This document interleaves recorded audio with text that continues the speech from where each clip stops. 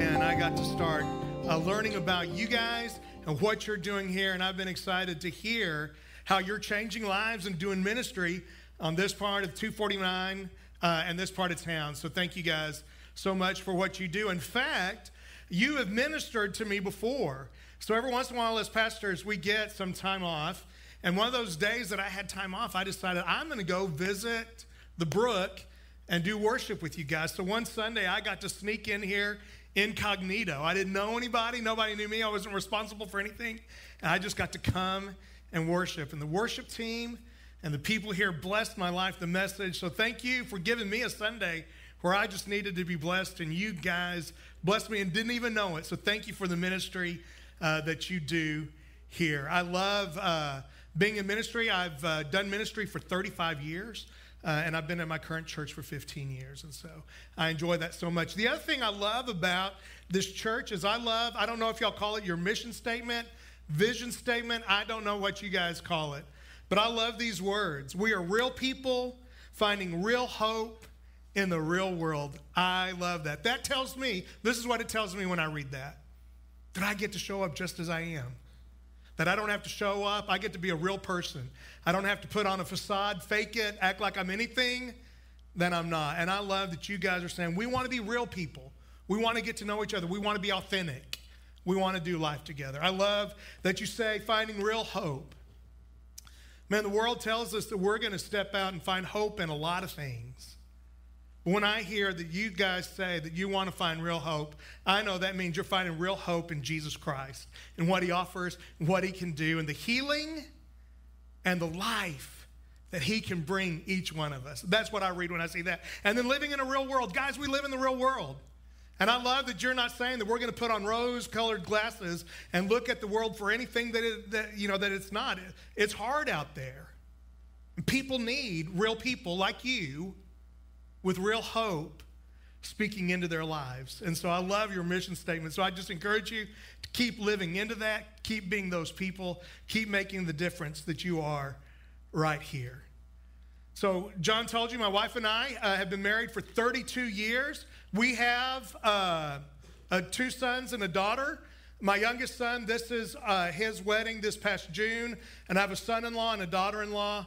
And I love my family. God has been so good to bless me uh, with, with this family for a long time, and I, I love this picture, and I've loved my family for a, for a long, long time. But God did something else in the past few years that took love in my heart a little bit more. Um, it's sort of like the Grinch when he said that his heart grew bigger.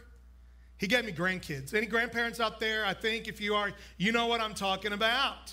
They come along, and this dude right here, my little dude, this is Braxton. He's four and a half, and I love hanging out with him and spending time with him. And yes, this picture, that's his personality. He is all in life and loves it. And then we've got Malachi, who is five months old. Look at that.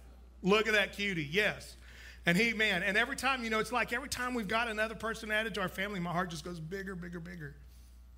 And what I've loved about what God has done for me in bringing these beautiful children and this family into my life is even more and more, God is showing me what the love of God is like. I just, I don't need anything from them. I just like to be with them.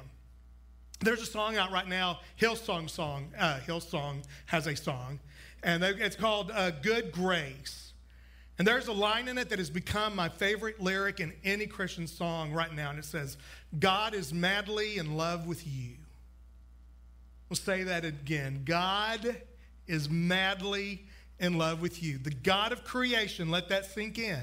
The God of creation, the God who made the world, worlds, the God who spun it all together, the God who knit you together, who knows you better than anyone else, who knows the good, the bad, and the ugly, is madly in love with you this morning. And nothing we can do can change that and He loves everyone. So if you don't hear anything else that I say this morning, you may, I don't know what you brought in here, what you are carrying, but I know this God is madly in love with you, and He is delighted that you showed up to worship Him in this place this morning. And those of you who are at home, He's delighted that you've joined as well. And so now the sermon's over. No, I've got a few more things I want to say. But He's madly in love with you. So, several years ago, when I was a younger youth minister, uh, we had our three kids, they were younger, and God was providing enough for us to have our needs. Uh, we were living fine. Uh, we could do the things we needed to do, but we didn't always have the money to do the extra things. So one Wednesday night, there was a man at our church that came up to me and he handed me an envelope on Wednesday night after youth, and he says, Take this home and open up this envelope when you get home with you and your wife. Now, that's one of the hardest things for me to do when anybody gives me anything. I'm one of those people that even at Christmas, like when I was a kid, I would go and I'd open up the ends of the, the packages to see what was in there. I didn't like I wanted to know what's coming my way, but I waited. And I got home, and when I got home, I opened up this envelope, and in it, there were two round trip tickets to anywhere in the United States that Southwest Airlines flew to. I was like, man, that's awesome. And then there was a check, and it said spending money. They were spending money on that check, and we opened up the card, and it said, Andy and Cheryl, thank you so much for what you do for our kids and the, the amount of time you put in with the youth ministry. And we just want to bless you. Use this however you see fit. So we had money for spending money and airline tickets, and we were like, where are we going to go? So we decided to go to San Francisco. Uh, we flew in there. We had money to do, so we did, you know, Golden Gate Bridge and Alcatraz and the trolleys and all that stuff. We ate at restaurants that we usually don't get to eat at because we had the money to eat there, you know, and it was like fancy and we loved it. We went to a show, and then we drove out. We rented a car and drove out to uh, Napa Valley we spent a day going to wineries and having picnics. That's, I mean, it was just awesome. And I was so blessed by the generosity of someone else. Then the next week, when we got back and we saw that couple at church, they asked us about the trip. And I really believe they were just as excited to hear about how much fun we had on the trip as we were for taking it. You could tell that they were blessed that their generosity had made such a difference in our lives. So to this day, I am thankful for that little getaway that my wife and I got to have. And I, it started me thinking about, as Johnny gave me this passage to look at this morning, I started thinking about what would it look like in our lives to start living as people of radical generosity. I mean, that gift to me felt pretty radical. I was like, this, who does this? But I got to, I got to be blessed by that. And so I want to go into Acts chapter 2, verse 42, and look at the passage you guys have been looking at the past few weeks. And they devoted themselves to the apostles' teaching and the fellowship, to the breaking of bread and the prayers. And awe came over every soul, and many wonders and signs were being done through the apostles. And all who believed were together and had all things in common.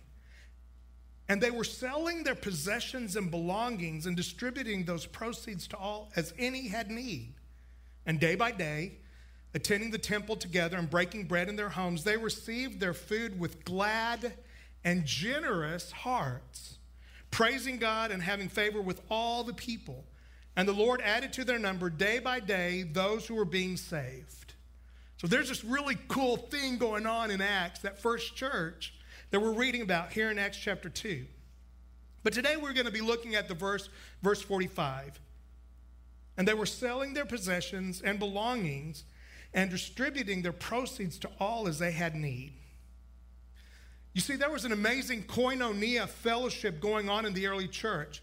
They had an intimate joint partnership, which John Owen talked about a few weeks ago. And this intimate joint partnership led to these people having a generosity that was radical they were in such partnership and fellowship that they were willing to sell their possessions and what they had to make sure that nobody did without, that nobody was left hungry or thirsty or without clothes. You see, what they were giving to and what they were selling their possessions for weren't for people to have, have the things they wanted. These were needs, daily needs to survive.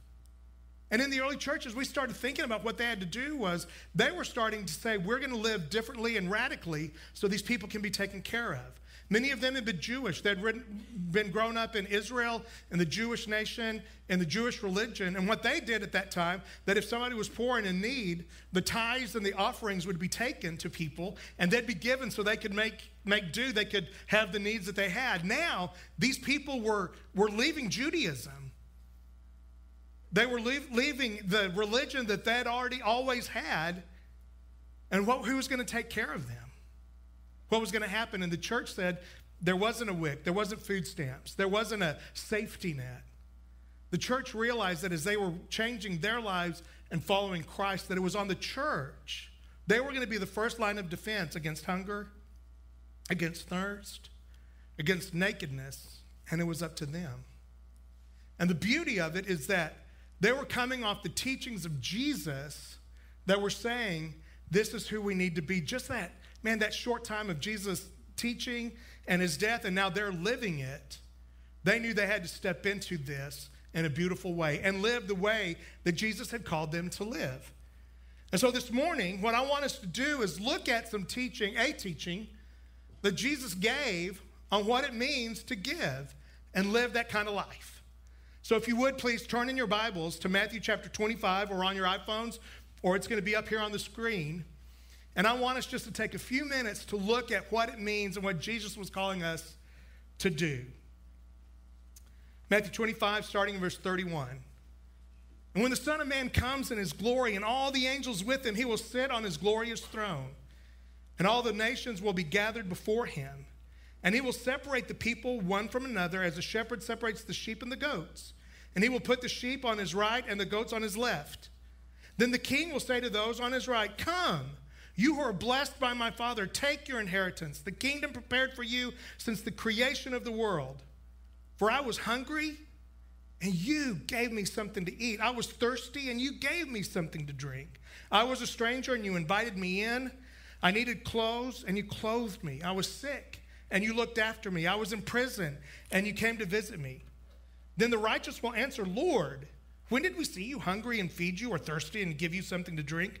When did we see you a stranger and invite you in, or needing clothes and clothe you? When did we see you sick or in prison or go to visit you? Then the king will reply, Truly I tell you, whatever you did for one of the least of these brothers and sisters of mine, you did it for me.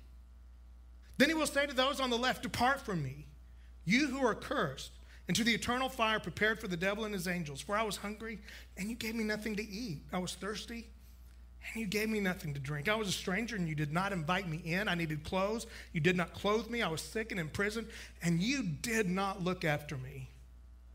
They also will answer, Lord, when did we see you hungry or thirsty or a stranger or needing clothes or sick or in prison and did not help you? And he will reply, Truly I tell you, whatever you did not do for one of the least of these, you did not do it for me. Then they will go away to eternal punishment, but the righteous to eternal life.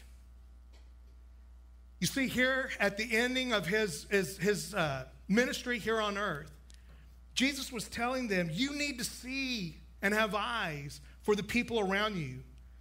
Jesus wanted them to know that it was so important to him that one way that we would be judged for the way that we lived here on earth was how we did life, how we saw. Were we aware? Did we see what was going on?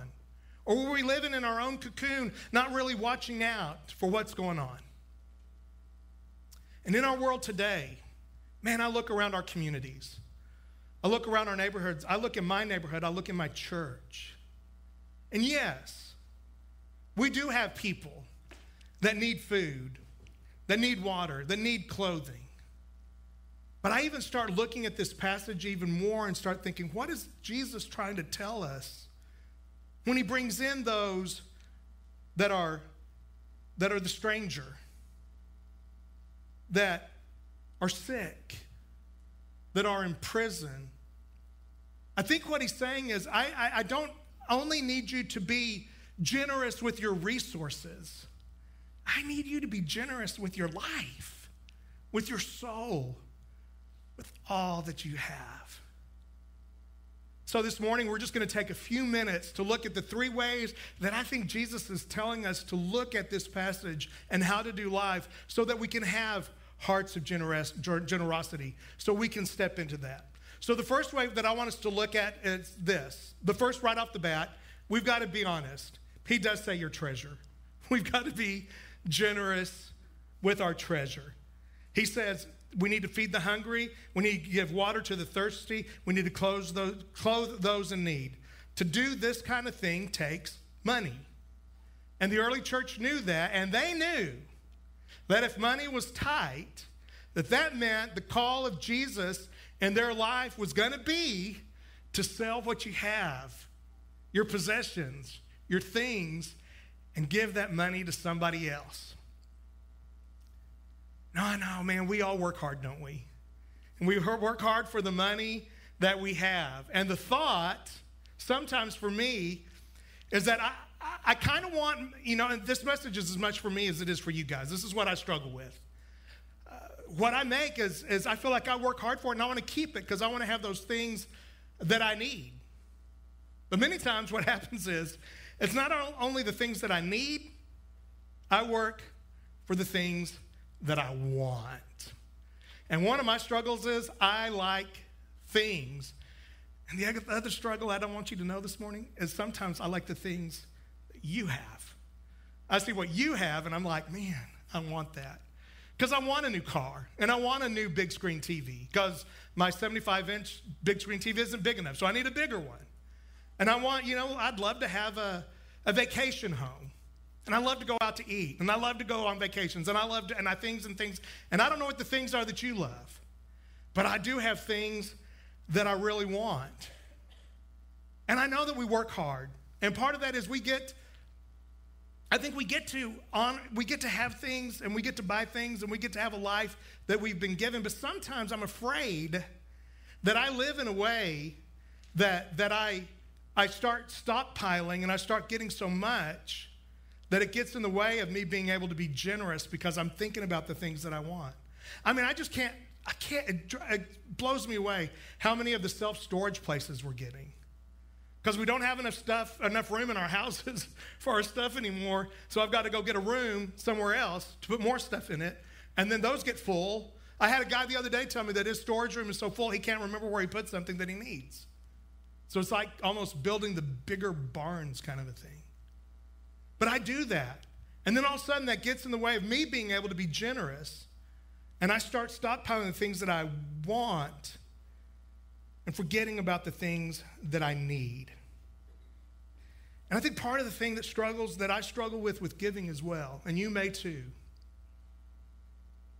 is that do I really trust that God will take care of me if I give it away. I think sometimes I'm afraid that there will be lack, or at the end of the month, if I give stuff away, that I won't have enough money to make it.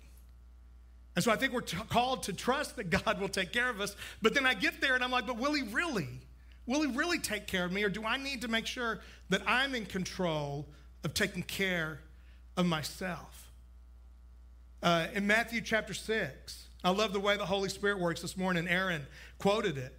But in Matthew 6, it says, Don't worry about what you're going to eat, what you're going to wear. Because he says Jesus is going to, God will take care of the birds of the air. And he clothes, I mean, he, he, he clothes the, the flowers, he gives them something to wear.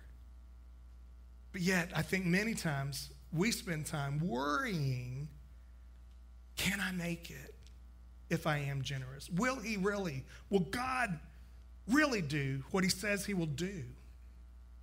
That takes a step of faith. I look at, you know, I, I start thinking about Jesus. And I think the reason he can call us to a sacrificial life and sacrificial giving is he sacrificed it all. He understood that he was calling us to be people of sacrifice to say, Can I give this up in the name of Jesus Christ to make the difference in somebody else's life? And the truth of the matter is, yes, it is sacrifice to give, but it is a holy sacrifice that brings us closer to Jesus and actually makes us start looking more like Jesus every day when we sacrifice in that way. And John was talking about it in our gifts. Man, your gifts right now are going, the gifts that you give to this church, these gifts go to helping feed the poor. And doing ministry and keeping this church alive and making a place where people can come and find Jesus. We, we can't talk about giving if we don't talk about the way that we give back out of what God's given us in a, in a, in a joyous way of saying, Jesus, thank you for what you've done. Thank you for what you've given. When I was a youth minister, we would take uh, kids to Mexico and to Haiti, and we would do mission trips. And our kids were, were exposed to things that they'd never seen, especially when I was in West Texas. And man, in West Texas, our church was a pretty wealthy church. And, and, and I, you know, I, I like what you have sometimes. I'm gonna, I mean, I do. I envy sometimes. And I work, Jesus and I are working on that. But there were kids at this church when they would turn 16 and they would get a brand new truck or a brand new car. And, you know, sometimes they'd have that, the Ford Raptor. Like, I'm envious. Like, I want a Ford Raptor one of these days. And they'd have brand new cars, and I'd be looking at mine. I'd be like, God, I know you called me to ministry, but Lord Jesus, please. But they'd have all these things. And then we'd go to Mexico and we'd be out and we'd be building the buildings, and, and they'd get to go out and they'd get to visit the homes. And when we were in Haiti, we walked the streets of Haiti, and you just see poverty that you've never seen before in your life. And when we'd get back together at night and we'd start talking about the day, our kids were always blown away, and our adults were always blown away because they said, These people are so happy. Like if you'd go up to their door and you'd knock on their door or whatever, they may have a dirt floor. It may be a shack. They may be sweeping the dirt in front of their house to make it look better. But if you went to their house, they would always, almost every time, offer you a candy or a cookie or a drink. They were offering out of having very little, but they were so generous. If you came to their home, they were going to give you something. They were being generous out of lack. And these kids were saying, Man, I don't know that I'd give away, and I've got everything. You see, generosity came from a heart that said, If you come to my home and you're a stranger, I will give you something. And that blew them away. One of the times we were there, we took over, we had a, a, group of about 136 teens and adults there. And the ladies of the church came together and they made a thousand homemade tamales. Because they believed that us Americans, which we do, we eat too much. And they thought that everybody there needed 10 tamales. We didn't need 10 tamales, but we ate all the tamales. But in generosity, they made a thousand handmade, hard working, thousand tamales. Because they wanted us to know they were thankful for what we've done. So this morning, I just ask you, how is God inviting you to be generous with your treasures? To be like that first century church. And then the second one is, and this one may be even harder for us, to be generous with our time. Anymore, it used to be if you ask somebody, How are you doing? They'd say, I'm fine, I'm okay, I'm doing good. Anymore, it seems like the answer to how are you doing, I'm busy. Oh, I'm busy. And we're busy taking kids to dance and to uh, sports, and we're busy going here and we're going there, and we, we fill up our calendars with all kinds of things that we've got to do. Uh, we work harder, we work more hours. And so time is valuable, and we just so many times just don't have the time anymore because we're busy chasing everything else. And I'm as guilty, and I'll say it myself. But when I start looking at this and Jesus saying, I want you to be generous with your time, what I, what I read in this passage was that if I'm going to go sit with the sick, if I'm going to go to a prison, and if I'm going to welcome in the stranger, and I would even say today, folks, if I'm going to minister to the lonely, and that's going to take time. When I go visit the sick, I've got to have enough time to sit with them and listen to them and see what I can do. If I am going to visit someone who's in prison, I need to sit, and it can't be quick. It can't be a quick five minutes in and out. If I'm going to get to know the stranger and love the stranger and love the lonely, then I've got to give enough time to sit and hear what's going on and find out who they are.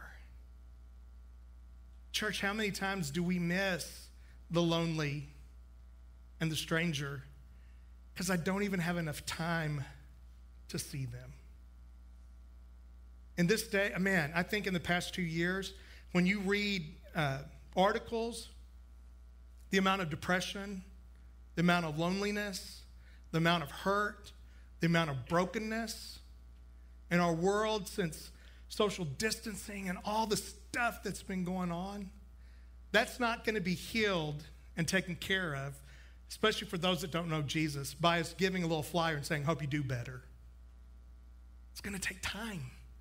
And am I willing to invest my time into making somebody else's life better? This week, the Lord hit me with this smack in my face. There's a guy that I do a small group Zoom with on Thursday mornings. And he said that his mother in law, who's living with him, has COVID and he was going to get a test at 10. I found out later that day that he had tested positive as well. So he's positive COVID, two boys living at home, wife, mother in law's in the hospital, they're all sick. And the first thing I started thinking of is, man, I don't have, I need to do something for this guy, but I don't have enough time uh, to do something for him. So I bet I could get Uber Eats or I could, you know, I could call somebody and just have them go deliver some food to their door and that'll take care of them. And then all of a sudden I started thinking, I'm talking about this sermon. I thought, ugh. Even when I'm talking about this service, my first inclination is let me do the thing that takes the least amount of time, but lets him know that I care about him. So I didn't do that. I called and I said, Hey, what would you like? And he goes, I said, This, this, or this. And he goes, Man, we really love Popeye's chicken. I was like, Popeye's chicken, it is. So yesterday I ran by Popeye's chicken, got a family bundle, took it to his house. He opened the door. I kind of did the, you know, here you go, and I backed off. But he and I, he was over there and I was over here, but we got to talk and I got to find out what's going on. And I wouldn't have had that if I wouldn't have taken the time when my soul was saying, I don't have enough time. But if I wouldn't have taken time, to sit there and say, I'm going to go by and see him face to face? Who in your world right now needs you to stop long enough and say, I'm going to see you face to face? I'm going to sit with you. What do you need? I'm going to love you enough to do this. So I think radical generosity means I'm going to give up some of my time and realize that it may be better served doing ministry. And then the last one, and I'll hit this pretty quickly, is what is your talent? Or can you be generous with your talent? To have a church like this running, to do ministry, to do the things that we need to do, we need everybody jumping in and saying, you know what? I'm going to be generous with my talent. I'm going to give back to the Lord. It takes a talent to go visit someone in prison. Maybe that's not your talent. I think it takes a certain kind of personality that can go and sit with the sick. Every one of us, I think, has a talent to at least say, Good morning, hello, but so many of us have talents that will help the church be what it needs to be and to do ministry so that other people can have time to do their to use their treasures and their time and then our talent and we all come together and we start doing this work and we start serving together. I believe that one of my talents is hospitality. I love people. I love hanging out with people. This past Sunday, uh, Easter Sunday, uh, one of the guys at our church came up to me and he said, Man, he goes, I want you to know this is, a, this is an anniversary for me at this church. He goes, Several years ago, I visited your church on the Sunday before Easter. And then we had Good Friday service. And it was the first time he was there. Single dude, moved to our town, didn't go to church. And after Easter, I mean, after Good Friday, that Friday night, I saw him sitting by himself. I went and talked to him. And I said, Hey, we're going to Gringos. You want to go eat dinner with us? And he was like, Yeah, I'd love to go eat dinner with you. And I invited him. We had dinner. And then he came to church Easter Sunday.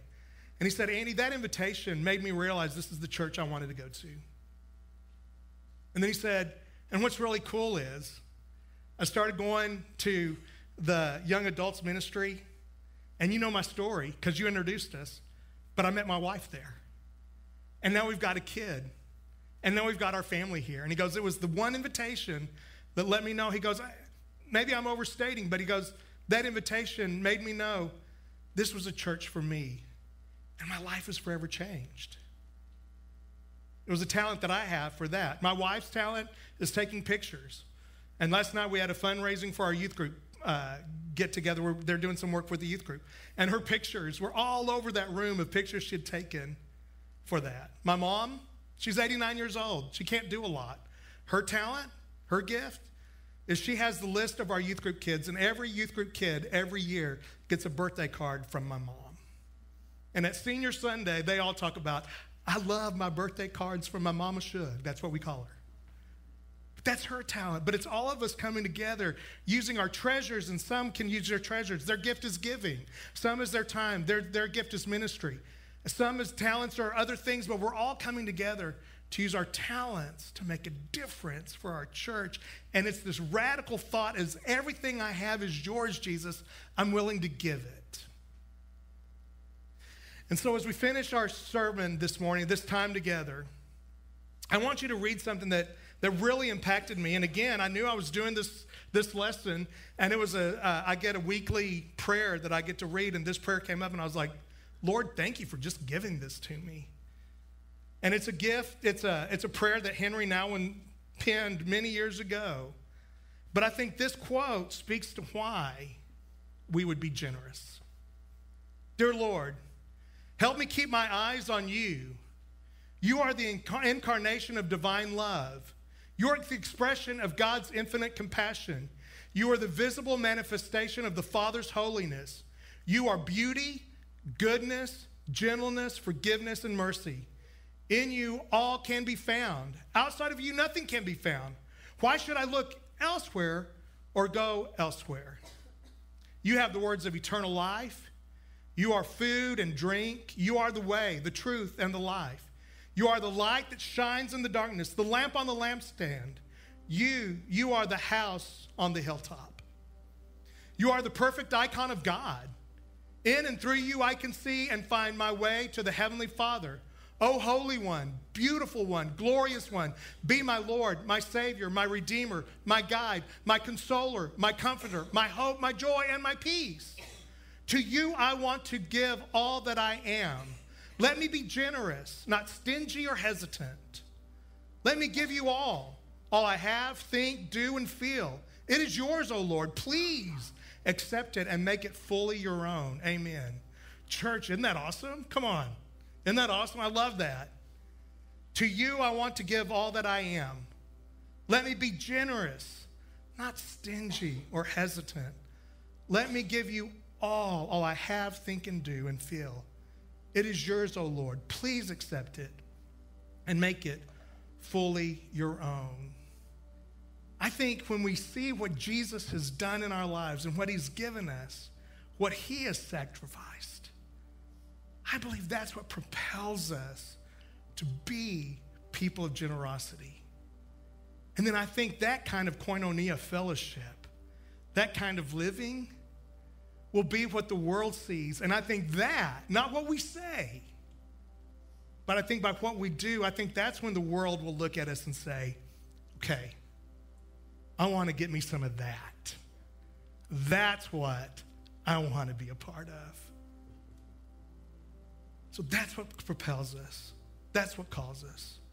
The sacrifice and generosity of Jesus Christ compels us to be people of radical generosity. Pray with me. Father God, thank you so much for this morning.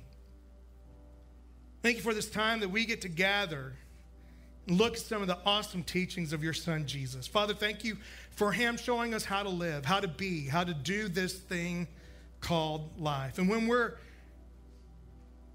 when we're tempted to want to hold on tightly to our time and our talents and our treasures, when we want to hold on tightly, Father, help us in faith let go of that, knowing that you will provide all that we need. You are the sustainer, and you are our God. Father, thank you for the witness of that early church, that even when they ran out of money, they'd sell what they had to make sure that nobody went without. Father God, help us be those kind of people because ultimately, we want to look just a little more like your son every day. And it is in your son's name that we pray. Amen.